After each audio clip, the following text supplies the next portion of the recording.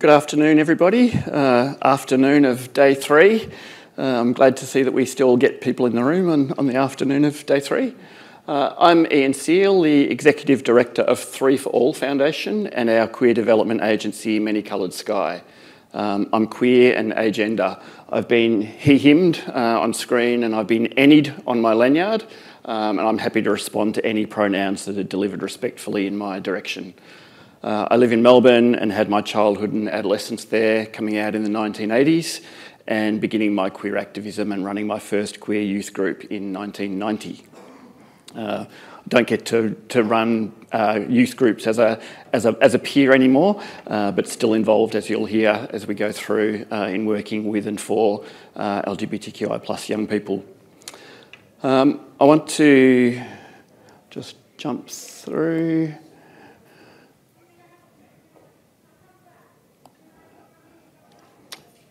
Uh, I want to acknowledge today that we're meeting on the lands of the Gadigal people of the Eora Nation, pay my respects to elders past, present and emerging and all First Nations people here today. Um, our queer movements have always learned uh, and have so much more to learn from the power and resilience of First Nations people everywhere, fighting dispossession and the colonial project. I'm proud of the moments, and, and there are many, um, in which our movements have worked together, lifted each other up, and celebrated in intersectionality. And I'm saddened by the moments, and again, there are many uh, when we haven't uh, worked together. Uh, I also want to acknowledge that we're living through a climate emergency and that it's only by learning and adopting Indigenous ways of living on the earth that we can hope to reverse environmental catastrophe and that progress on sexual and gender rights must be intersectional with climate justice. We're here today to talk about collabor collaborative responses to the complex and intersectional challenges many LGBTQI plus children and young people face, especially those in resource poor and discriminatory settings. Uh, I'll be joined by two people I'm very proud to share a stage with, uh, Manu Kailom and Sian Harris, who will both introduce themselves soon. Uh, we planned this session with a fourth panellist, Justin Bionat, uh, the Executive Director of Youth Voices Count uh, in the Philippines, who was unfortunately unable to get a visa uh, in time to attend in person, um, and who would have helped to bring down the, the average age of, the, of the, the panellists and get us closer to looking like young people ourselves. Um, Justin has indicated that he's happy for me to speak about his and our work today um, and to share my experiences of our work with and for LGBTQI plus children and young people in the Philippines. Uh, I'm excited to be sharing with you today our evolving work on a framework and a strategy for achieving the best possible world for LGBTQI children and young people. If all the bits come together, we'll be launching the framework and a second Asia Pacific wide grant round in Bangkok mid year so today is a sneak peek of our shared work and its origins and the strategies and evidence that underpins the work. So a little about Many Coloured Sky as background to the session. Uh, we're an Australian registered charity. We're 10 years old this year. Um, as you can see on the screen, our mission and our role is to uh, build the capacity and work to enable uh, the, the, the, work of marginalised and vulnerable LGBTQI plus communities in particularly resource poor and complex settings. Uh, we're tiny. Um, we're, we're, two staff. Manu and I are, are many coloured sky in terms of paid staff, uh, although we do have a significant and growing number of volunteers. Um, and I expect that we always will be largely driven by a volunteer effort. Um, I'm excited to say that on top of the two of us as staff, we are adding four paid internships um, to our, our, our clique uh, when, as soon as we head back to, to Melbourne this week. And those four paid internships are all for LGBTQI plus refugees and people seeking asylum. Thank you. Uh, I'm also proud to say that while we're small, we, we pay the salaries of 43 activists in LGBTQI plus organisations in uh, Africa and the Asia Pacific. Uh, it's not about growing our own footprint, it's not about setting up our own offices, uh, it's about building the capacity in those communities. Uh, so our vision, as you can see there, is that LGBTQI plus communities in discriminatory, resource poor and complex settings and are, are enabled to move beyond those constraints to achieve their own goals and to exercise universal human rights and freedoms. Uh, it's, it's, a little bit clumsy to talk about someone um, kicking, kicking an, own, an own goal, um, but clearly what we're saying here is that our work is, is, the, is the work of the communities we partner with. Um, it's not that we make, you know, that, that we decide what, what work needs to be done and what the priorities are of the communities we work in. Uh, there are four priority areas in our work, and they describe both how we work and the key populations we're currently working with. Um, really, we began um, as a response to frustration about how development and aid agencies and many large community service providers, both domestically and internationally, work with the communities that they, that they support. After 15 years as a queer activist and organiser and four years in academia, uh, I had a few years as a consultant. And one of those consultancies was for UNICEF in in the Philippines. Uh, this experience was the origin of both Many Coloured Sky as an organisation and We Are the Rainbow as a project. So, my role in that consultancy was to review uh, elements of the HIV prevention strategy that UNICEF had for young people across the Philippines, and particularly focus on their peer education and peer outreach programs. As a part of that, um, I asked to meet with focus groups of the, of the young people that they supported. Um, and that meant, in the, in the clumsy language of, of the HIV sector, uh, meeting with young MSM, um, you know, men who have sex with men or males who have sex with males, even though half the people in the room actually identified as female, as, as trans girls.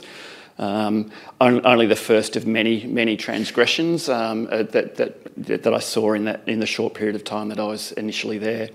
Uh, so I spoke to a group of young people, and you know, being familiar with the with the way HIV works, and having worked with young young MSM in Australia, I expected to meet with a group of 16, 17, 18, 19 year olds who were sexually active with other 16, 17, 18, 19 year olds, and the and the role in terms of HIV prevention was safe sex education, access to condoms, etc. Um, the room was actually full of 10 and 11 and 12 year olds, uh, many of whom were sexually active with adults for money. Um, they were homeless. They'd been kicked out of their, their, their homes by their families. Uh, they'd been kicked out of schools or bullied out of schools. Um, they were sex working for survival. Um, but UNICEF saw the role of uh, their role in HIV prevention education being how to, how to better teach uh, these young people how to use condoms. So I did meet with, with some of those young people through the grassroots LGBT organisations that supported them a number of times. Um, and both they and the LGBT organisations themselves made it very clear, if it wasn't already, that what those young people needed was someone who loved and nurtured them, a roof over their heads, three meals a day, and a good education. Uh, so really, it was in that, that moment and hearing those things that um, you know, we, we, we talked about what, what kinds of things could happen, how could we work differently with that, with that community, and how could we support young people in that community, and everything's grown from there. Um, so if we fast forward a couple of years from, from that experience in the Philippines, um, I should say, as, as, we're showing these, that um, you'll see young people in the programs, they've all given consent and their families have given consent for these photos to be shown, but I would ask that you don't photograph and reproduce these pictures, please. Um, so if we fast forward a couple of years, um, while a group of friends and colleagues and I uh, established Many Coloured Sky, um, we Are the Rainbow began as a youth led collaboration between Many Coloured Sky and the Davao City LGBT Coalition in the southern Philippines, uh, bringing in other stakeholders over time. Uh, we began by establishing and resourcing peer support programs as a way to meet an identified need, but also as a way to undertake action research to learn directly from the young people about what they needed and what they wanted, um, about their strengths and their ambitions, as well as their challenges and their, their barriers. Uh, we took those learnings to local government and social services. Uh, we ran activities with those organisations that were partly professional development and partly advocacy, as well as coalition building. And this was slow work that took place over many, many months. Um, as the peer support programs grew, young peer leaders worked with us to co design all of the content, and we ran training programs to support a larger pool of young people to become peer support facilitators. This also entailed co-development of codes of conduct, peer support manuals and modules, and peer program guidelines as, as the program grew. and you can see there a brainstorm from one of the groups of young people about what they wanted from peer support. We engaged local queer social workers to assist and to ensure a queer friendly child protection lens over all of the work. Uh, this also enabled us to build relationships with local governments who employ those social workers and with child protection agencies, who in general had very poor understanding of the needs of LGBTQI plus children. Most commonly, that poor understanding expressed itself as a belief that by choosing to be LGBTQI plus, children were themselves to blame when they experienced sexual assault and violence. So we developed and began running professional development for these agencies and advocated for openly queer organisations to join and work with the City Council for the welfare of children.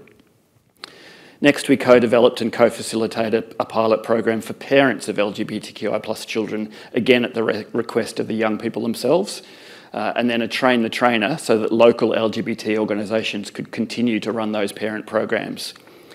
Many young people and many of the organisations that we've worked with have told us that this was the key to everything else, that this was the central of central importance was to assist parents to understand the needs of their of their kids um, and to love and, and nurture them for, for who they are. Uh, so these are just some photos from um, various of the peer education activities. Uh, they still continue today. Our, our biggest challenge now is just finding the funding to continue the, these programs to run, not, not, the, not the, um, the skills or the, the passion of the facilitators themselves. Um, a lot of the work has been about lobbying and working with stakeholders, um, using my, my white foreigner privilege to be able to knock on doors that were harder for LGBTQ locals to, to knock on. Um, meeting stakeholders back at UNICEF, um, Save the Children, Philippines government, and others, and asking, begging, lobbying for resources, and at the same time sharing understandings from the community um, about what was needed.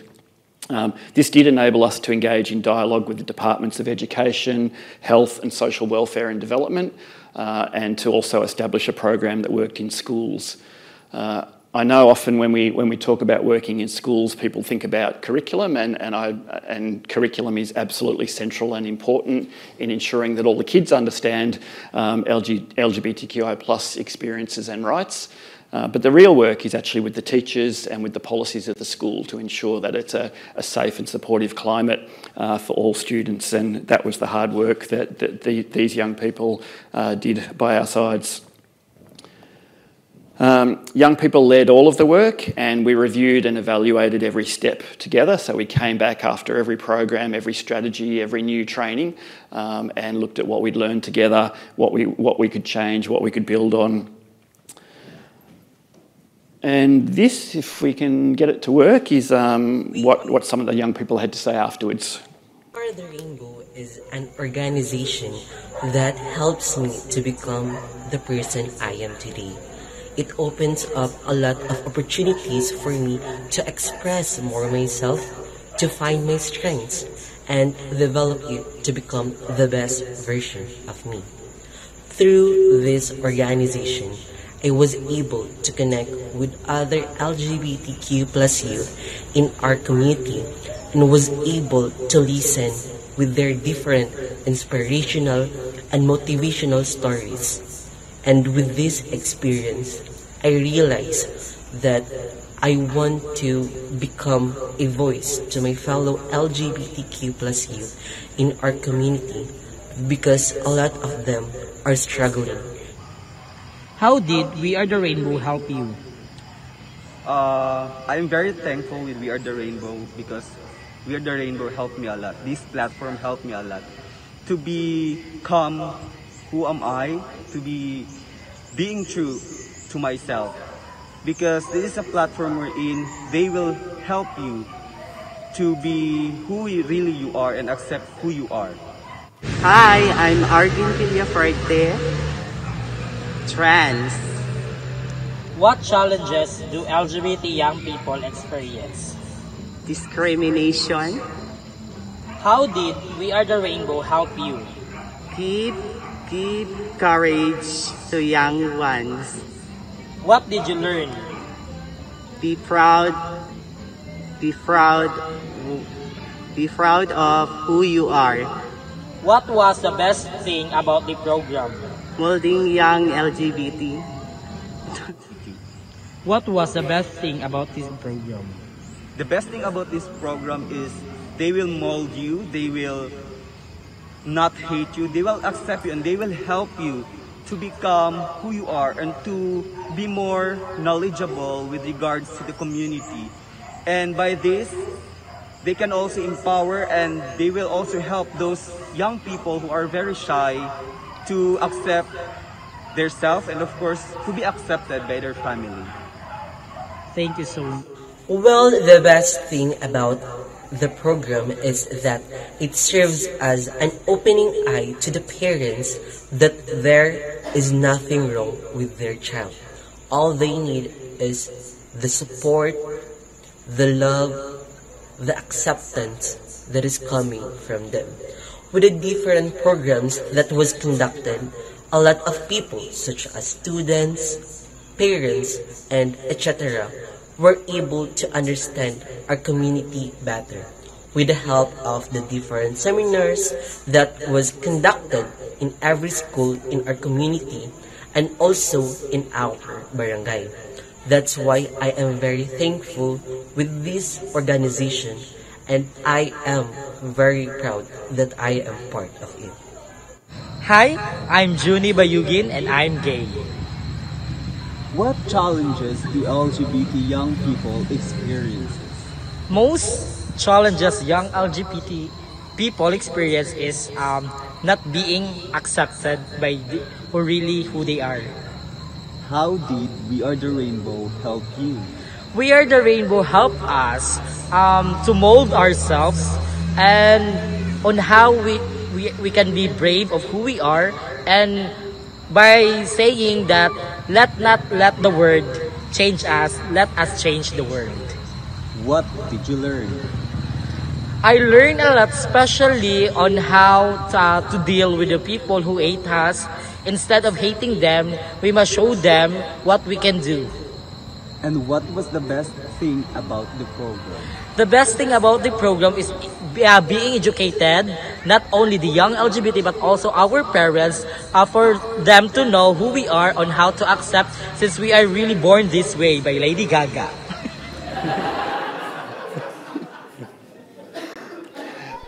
I, I think I know Junie well enough that I'm allowed to say at, at the start when he says I'm gay, the response should be duh. Um, We are Uh, so the, the, the work that we've just, that I've um, described in the, in the video uh, in the last 10 minutes represents seven, seven years of work. Um, and what we've been attempting to do over the last couple of years is distill that into something that we can share with, with other communities more broadly. So this, in a nutshell, is uh, what the We Are the Rainbow framework now looks like, uh, where um, the, the first three the first three stripes, if you like, the, around LGBTQI plus children and young people having rights, that in spite of this they experience discrimination, prejudice, violence and rejection, and that this has significant and long-lasting impacts on their health, well-being and life opportunities. These are the why of the work. Um, and what we've been able to do to support uh, our, our partner organisations in the Philippines and elsewhere to advocate for recognition of this um, is develop a range of uh, discussion papers based on international literature of what we know about the experiences. So they're something that we can share with our partner communities so that they can develop an argument to their stakeholders and to their governments about why change is needed. Uh, the next two are really about the, um, the how, the how we work, um, and I'll, I'll delve into that a little bit in a second. Um, and then finally is kind of the, the, the what we're doing to support uh, that work. So, uh, as I just mentioned, the, yeah, the, the, the, first bit is about having some draft papers. All of this will be available. If, if, if, if I'd chosen the, um, the timeline for World Pride, it would be about six months later than this, and we'd be able to launch this officially. Um, we have eight projects that are piloting this now in other, in other communities across the, across the Asia Pacific, and it's when we hear from them and learn from them and adapt and respond uh, to, to those learnings that we'll then be sharing this more publicly than today. Um, so all of the work is really distilled down to a couple of key principles, and the first of which is recognising that LGBTQI plus children have all the rights of other children, um, and they have uh, SOGIESC rights.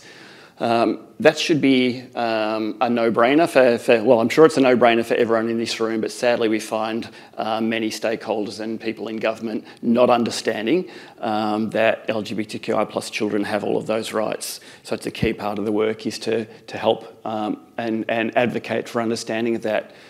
Secondly, the key principle is recognising that um, young people exist in various social environments, and that's where prejudice and discrimination happens, and that's where the work needs to be done to create change.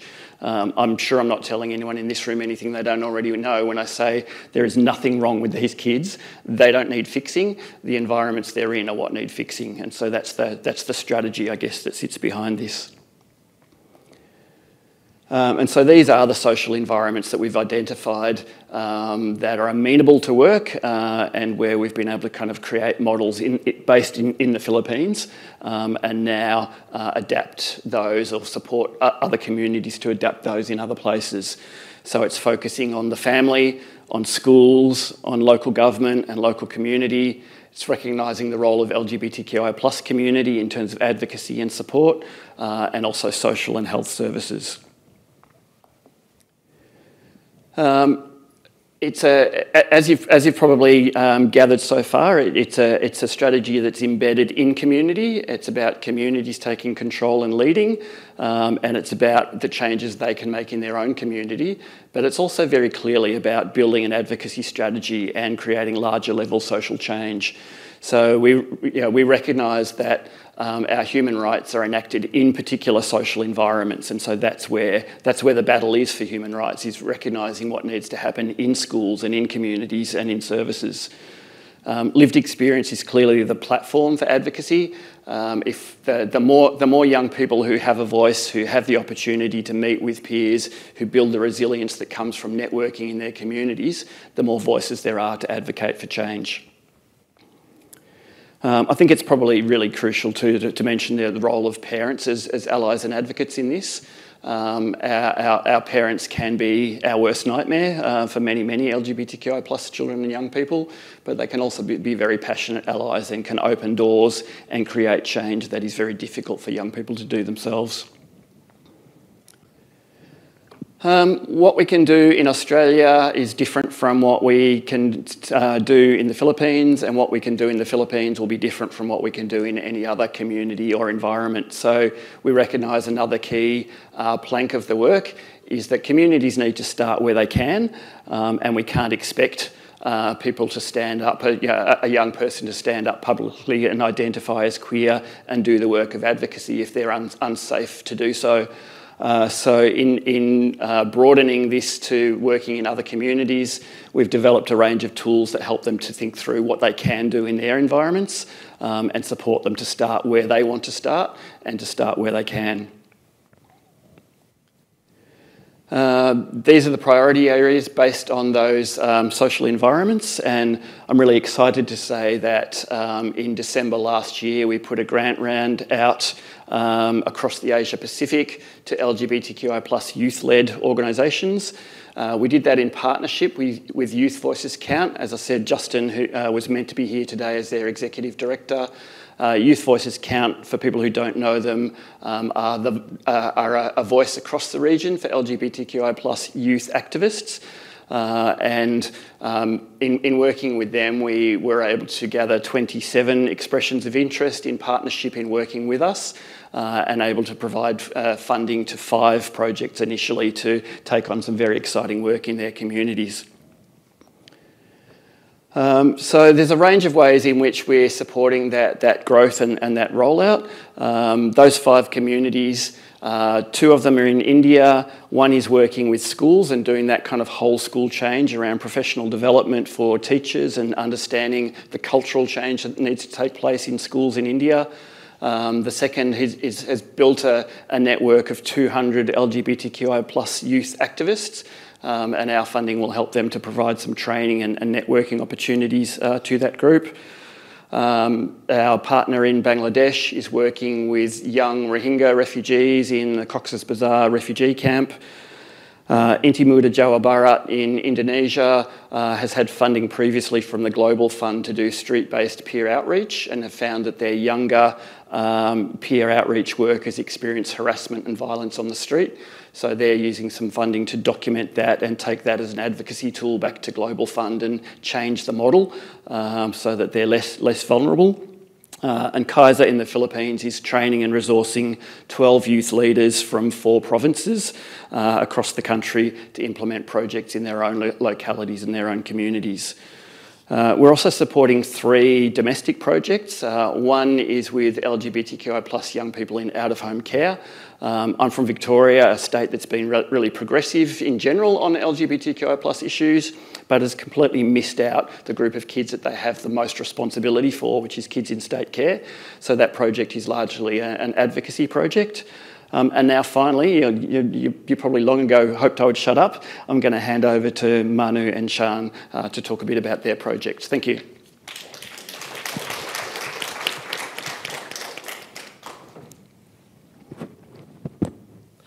Thank you, thank you, Ian. Um, I'd like to also start by acknowledging the land which I'm on today uh, and also acknowledge lived experiences yeah, in, in the room today as well and also acknowledge the work that those who are before me are doing.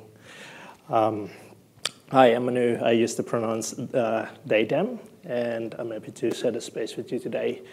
Um, I'll talk more about um, my experiences working in, in the community as an advocate and um, community development work uh, around with LGBT refugees and asylum seekers.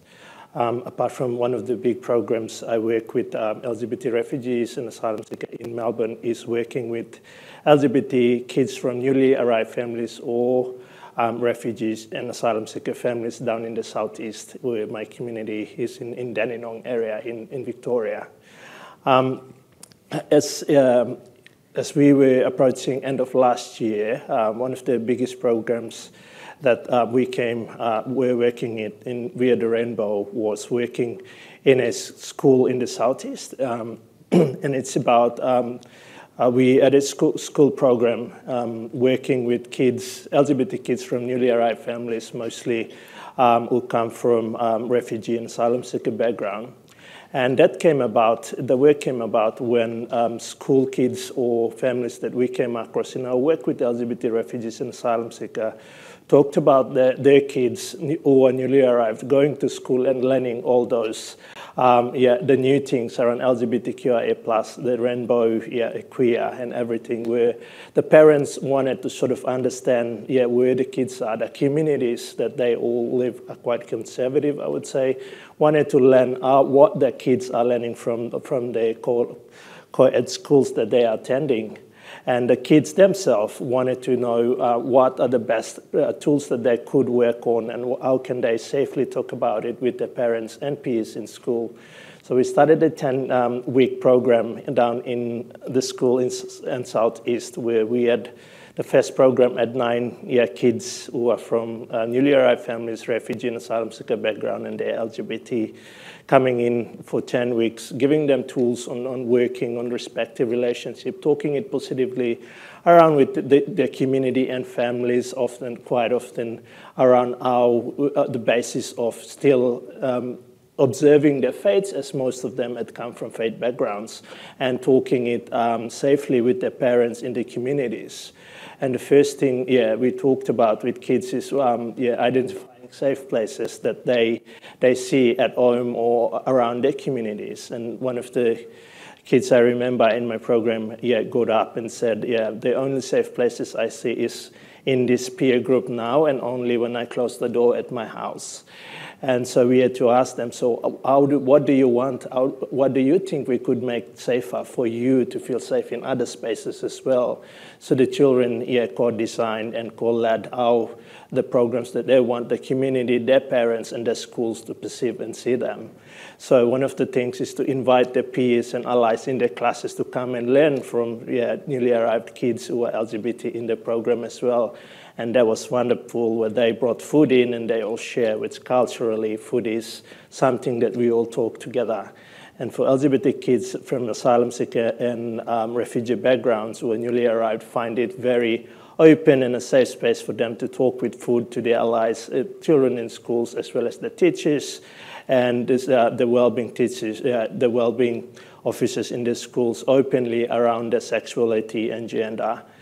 And towards the end of the program, one of the young persons came out to the, to the family, which I was so happy with um, their parents and um, the, uh, especially they said that dad who was resistant wanted to learn more and wanted to connect. So we, after the program, we had great feedback from those children because it's about working for us. It's working with the community, uh, religious leaders from and the teachers as well in, in the school for the and, uh, for the LGBT uh, refugee and asylum seeker background kids to feel safe, talk about it openly in, in the communities as well. So we are looking forward to the next stage um, in in few uh, months that we are in talks with the parents to have the parents group who are refugees and asylum seeker um, parents who would come in and learn how what the kids are going through. Those kids in, in the group focus group that we are running and understand yeah yeah more in, in terms of understanding the kids as well. And and, and that is yeah, one of the great things that we do within the we are the rainbow uh, frameworks of working around communities and in the social social economic ways of um, working with the children and what they wanted and what how they wanted this, the spaces to be safe for them. Thank you.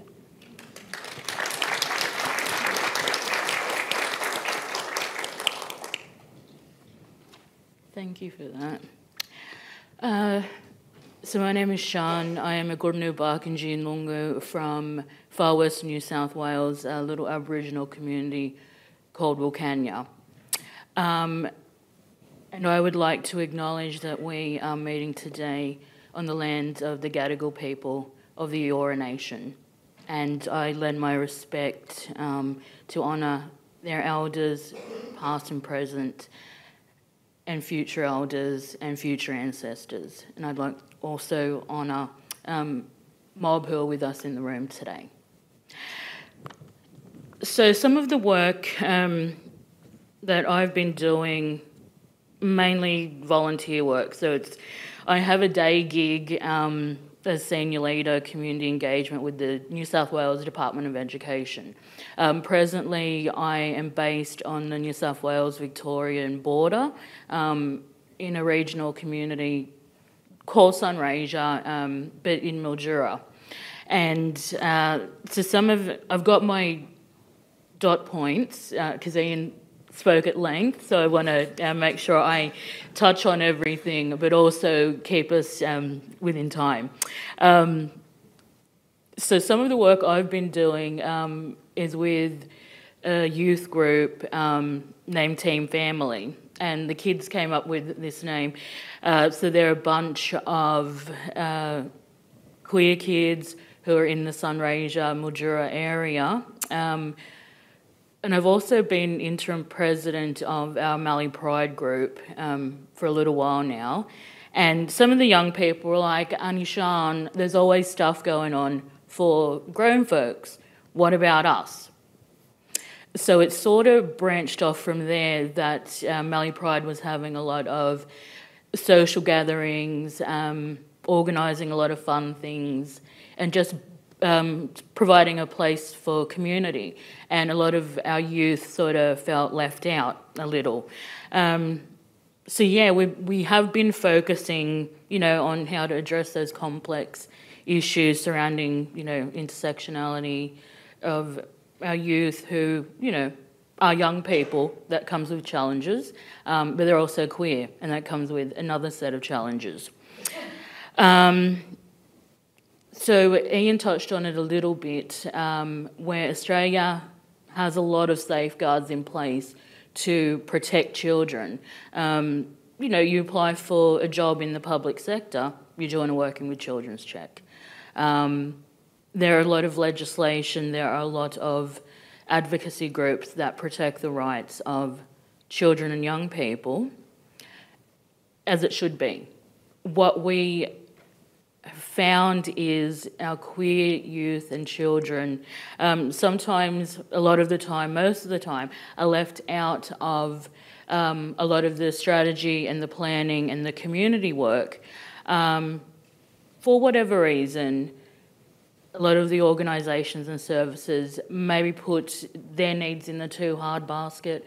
Maybe they don't have the um, workforce to work with our youth and children, or maybe they just, you know, haven't been given the funding and don't want to invest that time and energy. Um, so the kids that I work with, I lovingly call them kids. Um, so from 12 years old to around 26, um, and the way that I approach the work is from a decolonised um, Aboriginal lens. I'm I'm auntie to them. Being an auntie um, in our communities means that you're the person who the young people go to when there's nobody else. Um, we're usually the ones who will have your back no matter what. Um, sometimes having, you know, butting heads with parents of the children because we're ultimately the ones who have their back and will always provide a space for them, um, make time for them, and love them unconditionally. So that's a cultural thing. Um, and a lot of the youth and children that I work with are Aboriginal Torres Strait Islander, um, also coming from refugee asylum seeker, ex detainee backgrounds. Um, that's the makeup of the majority of our community because um, it's a fruit growing region. Pretty transient people um, from all over meet there and have done for a long time. So that's the sort of the background of the community I'm working in. Um, so all of these children and young people come with their own traumas, um, intergenerational trauma. But one of the things that they were crying out for was spaces to feel safe, to be themselves, and to ultimately have fun. They deserve to be children. Children deserve joy and to live in the moment and to have fun. And this was coming from them when we would sit around and have our yarning sessions. They're like, Aunt, we just want to be somewhere where it's okay to be us and we can just have some fun. So the work that I do with Team Family, um, they chose the name, uh, is helping our queer children and young people to build capacity um, for a number of things. And I've just got some things listed here. So reducing social isolation, coming out of uh, lockdown. Victoria was uh, first to go into really strict lockdown. The kids were just um, feeling as isolated as we all were. Uh, so, experiencing respectful relationships. That one was important, um, namely because the children and young people at home may not have relationships that are respectful towards them, and that shows them that this is how, when people respect you, this is how they treat you. And that's very important. Um, they don't want to go on in life and accept being treated poorly. Um, so, with the work, the peer to peer work, they are modelling that respectful behaviour, which has been really great to see. Um, so, building connections and maintaining those connections. Uh, our region, while the population is very diverse, um, still a lot of racism, a lot of discrimination, um, a lot of homophobia, transphobia, um, all of the phobias. So there's a lot of that going on. The region sometimes isn't very safe for people like myself, let alone our most vulnerable, which are our children and young people. Um, so, with these connections, we're hoping that it, it builds community. Um, and our young people have somewhere safe to feel like they belong. Uh, so we do a lot of co-design stuff as well for designing um, projects and some other activities. So influencing fun activities for young people. So bringing them together um, and elevating their voice and hearing what they have to say. So there are two aspects uh, with team families, ways and how we work, and that's the relationship building with peers, with families, with community, and the co-design and voice stuff. So that comes from a collective impact model, um, whereby you know the most impacted individuals are the ones that have the loudest voice in how we find the solutions for the issues. So we view them as being the experts in their own lives, uh, just here to be an auntie and support and guide, but it's ultimately their voice, what is important to them, and the ways that they want to move forward. So, on the one hand, we're a social group that does, you know, like fun stuff like pool picnics or pizza day or movie nights or roller derby, um, some of the ideas that they come up with and want to do, um, hangouts, you know, feeling safe and things like that. But on the other hand, we have a backbone team uh, that's made up of eight queer youth and children. Uh, that group, I think, yeah, ages are from 12 to 23.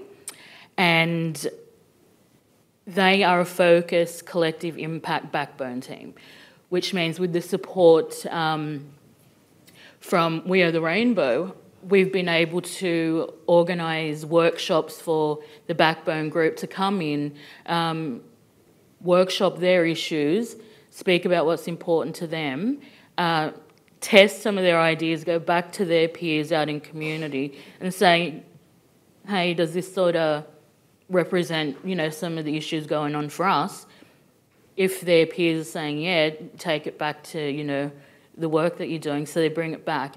And through assistance from um, the organisation, the lovely humans here uh, work tirelessly on, we've been able to pay our backbone team and, and pay our youth and children um, for their knowledge, for their expertise, and their them coming together and they're actually doing the work on the ground. Um, because for the most part, the pool picnics, the pizza days, the movie nights come out of my pocket. It's volunteer work, and I do it because I love community. Um, I love working with youth, and you know they, they deserve to have nice things.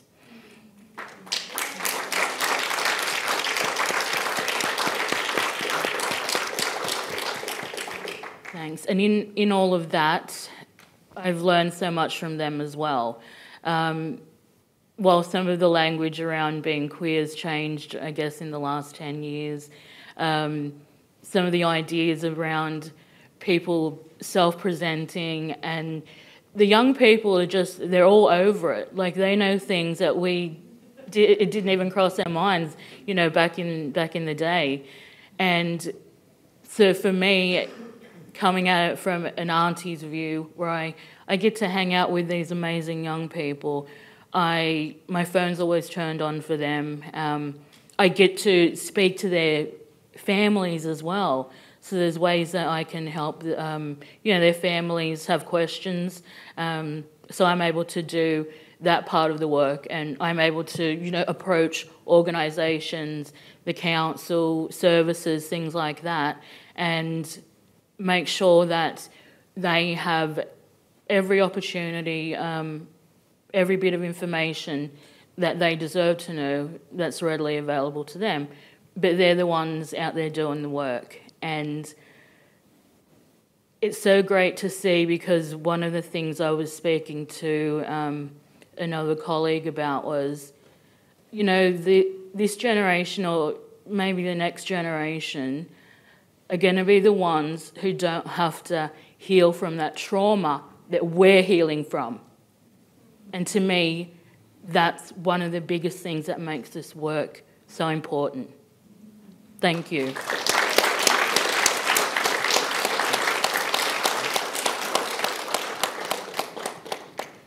I think we've allowed ourselves a tiny, tiny time for, for questions if there, if there are any. Is anyone yet getting any, aside aside from your salary, but any funding from the Department of Education, New South Wales? Okay. No. We're, we're not getting government funding for any of this, um, and in fact, we're getting very little funding. We've had a couple of donors who've supported their, the, the, the grant rounds. Um, all of the all of the actual work has been voluntary work. Yeah. What do you do to take care of yourselves while you're working with youth? Checking with each other. That's that's a really great question. Uh, it, no, it is. It is like that. It is Right, like uh, that. Yeah, and I think there's peer support that happens. Yep. We all happens support here. each other. Yeah, Um, yeah, yeah, yeah, yeah. If you need to. So I'm just wondering if you have any connection with Deaf Queer.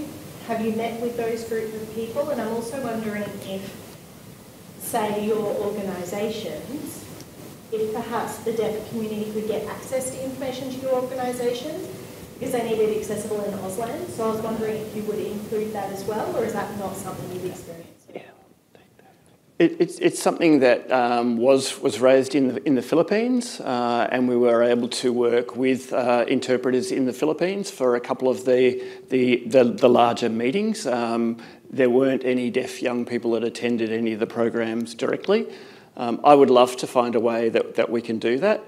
Uh, the, the challenge, I guess, comes from, from our answer to the previous question, which is about not yet having funding to enable a lot of this work uh, to, be, to be put together. Um, but we would be very keen to, to look at how we can make that happen.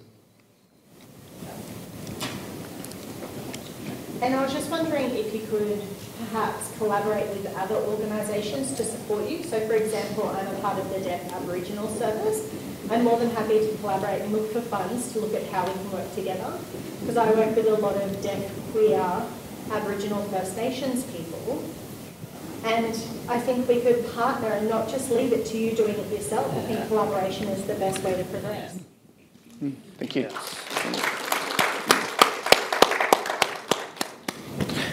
Hi, well, I'm a, I'm a teacher from the Australian Education Union, um, and it's always shocking to me how little funding these types of programs get from the Department of Education in their respective states. Um, as a teacher, uh, like you're doing such fantastic work, and teachers are, are so well placed to assist you and to do some of this work as well.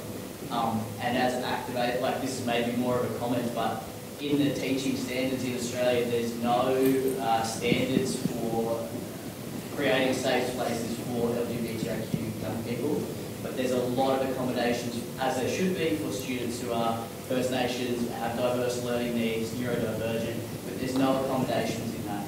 And so um, I guess a comment and, and a question, do you think that that would make your work easier if teachers were mandated to be able to show that they could provide that space in every classroom? It would. Um, it would definitely make things easier. I guess. Um, yeah, it's hard. It's hard to answer that one in a way because every school is individual, and I know just from the school that I work at. Um, while all of the teachers receive professional learning, um, and they a lot of the time, as you would know, teachers just don't have the extra time. Um, so that's one of the challenges I see. So it would be, they'd be like, is, it, is this an option? Is this mandatory? Um, yeah, things like that. So while it would, it would um, take a lot of the load off of the work that we do, I see, yeah, sort of coming up against where do we fit that in the programming of the semesters, yeah. Can I, I might just add to the, uh, that one as well. In, in, a, in a past life, in 2000, 2001, I was part of establishing a program called Safe In Schools, which was a precursor to Safe Schools in Victoria, which then went national and was, was killed off by the previous federal government. Um, I'm still horrified and disgusted that we as a community couldn't, couldn't pony up to fight that. Um, I know that we were drowning in marriage equality hideousness at the time, but we are big enough and strong enough to have two fights at once, and we gave that one up. Um, and now we have to do very, very hard work to get it back. Mm. Um, thanks so so much, everyone. Um, I've got a question for Ian. Um, so my name's Rani. I'm one of, uh, I'm in an advisory committee with Plan International Australia. So I was just wondering, have you partnered with international children's rights organizations? I know you, your presentation was about UNICEF, but how about Plan and other? Great question, thank you. Um, save the Sorry to interrupt. For the online audience at home, could you repeat the question? Oh, sure. Sorry. Yeah, yeah, yeah. So, so the question was about um, international child rights and development agencies and whether we'd have the opportunity for partnership and collaboration there. Uh, Save the Children Philippines were very interested uh, to, to learn about our work and, and did some work with us. And they have actually partnered with that Davao City Coalition that we initially built a relationship with. Um, and Save the Children Australia and Oxfam Australia, we've had some active conversation. We've had a shared a shared agreement that we'd love to work together um, and hasn't yet um, gelled into action. But yeah, we're keen to make it happen. Yeah. Down the back. Um, so I'm a teacher in a special needs school that specialises in students with um, um, just extreme um, wellbeing needs. Um, what I've seen is that comfortably 50% of our student population are LGBTQ. Um, of that, another half of those students are gender diverse in some way, and they often find their ways to our school because, quite frankly, mainstream school has been a place of trauma for them, and so they're finding their way to us having missed 12 to 18 months of schooling just flat out haven't been um, in, in, in line with the other COVID complications.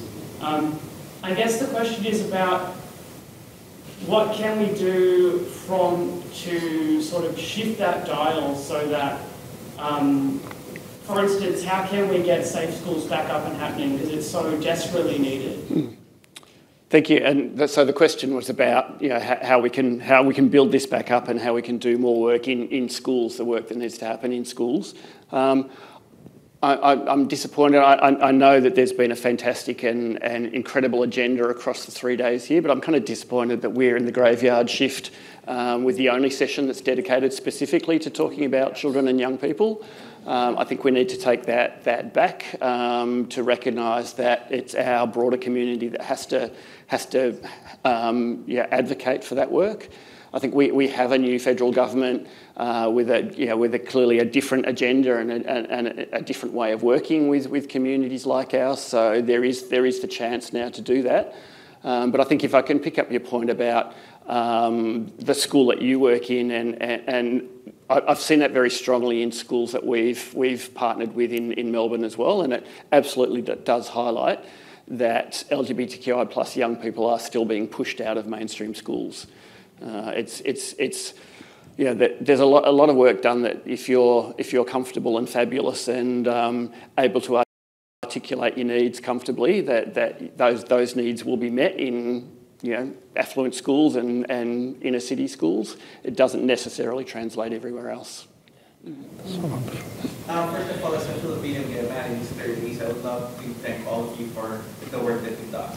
Watching those videos, you still my heart to joy. Um, my question is, back when you were doing this in the Philippines, you had to um, deal with uh, traditional culture and religious institutions. Um, and how did you deal with them? Mm, it's a, it's a big question. I, I, think largely we passed under the radar of, of religious institutions, and, I, and I'm aware that that probably is the, the, next, the next big challenge. Um, and when I say we, I didn't have to deal with it, but clearly you know, the young people in the communities we're working with were and are dealing with that on a very regular basis. Um, uh, my, my sense is that um, that work with parents and with, the, you know, with, with other allies is, is where we might be able to start to, um, to be able to kind of take on that, on that discussion that needs to happen. Uh, but know, the, the other thing that I saw um, and and please um, share share your experiences if, if if what I'm saying is not is not correct. But I saw a real difference between LGBTQI plus Manila and LGBTQI plus Davao. Um, and the communities we were working in, in Davao were kind of multiply disadvantaged. Um, and in some ways, that gave a freedom to do things that may have been harder in other places because it was less noticeable.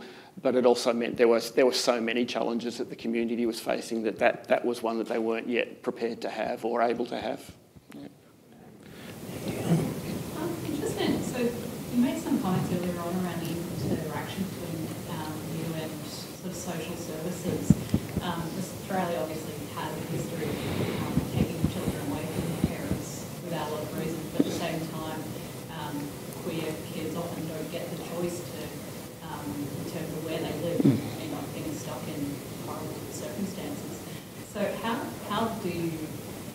you, or how does social services, I guess, amplify the voice of the child and um, help them to kind of make their own decisions and not just get stuck with what the parents think is Mm. best, what courts think is best?